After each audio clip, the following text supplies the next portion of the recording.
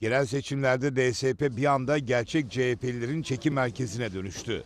İhlas Medya Ankara temsilcisi Batuhan Yaşar, Türkiye gazetesindeki köşesine CHP-DSP arasındaki geçişkenliği taşıdı.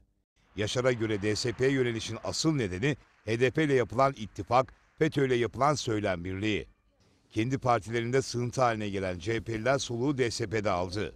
CHP tabanı CHP lideri Kemal Kılıçdaroğlu yönetimine tepkili. Bunun sebebi aday belirleme sürecinde Kılıçdaroğlu'nun sergilediği tek adam tutumu gözükse de Yaşar'a göre asıl sebep HDP ile gizli kapılar ardında yapılan ittifak. YSK'ya salı akşamı listeler teslim edildi. Oyunlar, dolaplar, gizli ilişkiler, ortaklıklar hepsi ortalığa saçıldı. CHP'nin gizli ortağı yani HDP 11 ilde daha aday göstermedi. İstanbul'un birçok ilçesinde de aynı yolu izlediler. Buraya kadar sürpriz yok.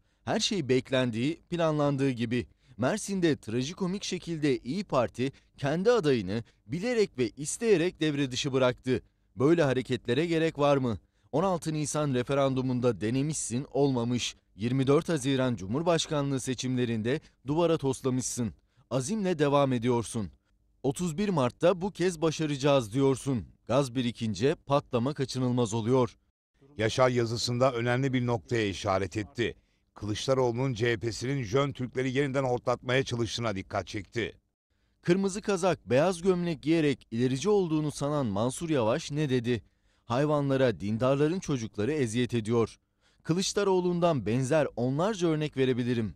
Bugün karşımıza Cumhur İttifakı olarak çıkan milliyetçi muhafazakarları gericilikle suçluyor. CHP'yi daralta daralta mezhepçi, vesayetçi sistem içine oturtmasının sebebi de bu.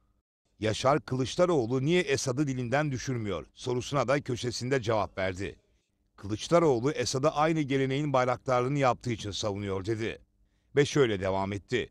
Bakın Kemal Kılıçdaroğlu'nun CHP'si başka bir şey daha yapmaya çalışıyor. Fransa'daki Le Pen ve Almanya'daki alternatif partinin retoriklerini kullanıyor. Popülizm, göçmen karşıtlığı, ayağı yere basmayan ekonomik vaatler. Yaşar köşesine siyaset bilimcilerin CHP'ye yönelik sarf ettiği sözlere de yer verdi.